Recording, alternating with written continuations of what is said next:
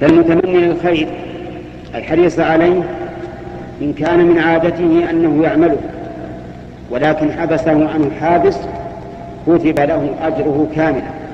فمثلا إذا كان الإنسان من عادته أن يصلي مع الجماعة في المسجد ولكنه حبسه حابس كنوم أو مرض أو ما أشبه ذلك فإنه يكتب له أجر المصلي مع الجماعة.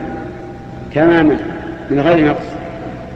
وكذلك إذا كان من عادته أن يصلي تطوعا ولكنه منعه منه مانع ولم يتمكن منه فإنه يكتب له أجره كاملا.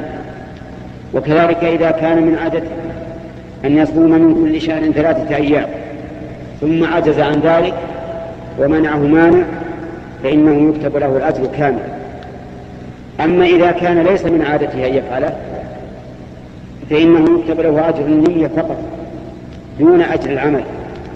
ودليل ذلك أن فقراء الصحابة رضي الله عنهم قالوا يا رسول الله سبقنا أهل الدثور بالأجور والنعيم المقيم. يعني أهل, أهل يعني أن أهل الأموال سبقوه بالصدقة والعتق. فقال النبي صلى الله عليه وسلم أفلا أخبركم بشيء؟ إذا فعلتموه أدركتم من سبقكم ولم يدرككم من سبق ولم يدرككم أحد إلا من عمل مثل ما عمل. فقالوا تسبحون وتكبرون وتحمدون دبر كل ثلاث صلاة دبر كل صلاة ثلاثة وثلاثين. ففعلوا.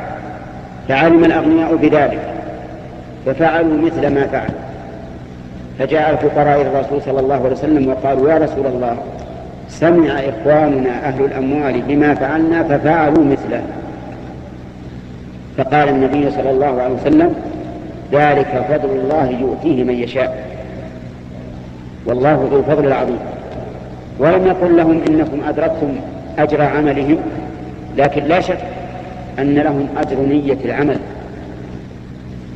ولهذا ذكر النبي عليه الصلاة والسلام في من آتاه الله مالا فجعل ينفقه في سبل الخير. وكان رجل فقير يقول لو أن لي مال فلان لعملت فيه مثل عمل فلان. قال النبي صلى الله عليه وسلم فهو, فهو بنيته فهما في الأجر سواء. يعني سواء في أجر النية. أما العمل فإنه لا يكتب له أجره إلا إذا كان من عادته أن يعمل.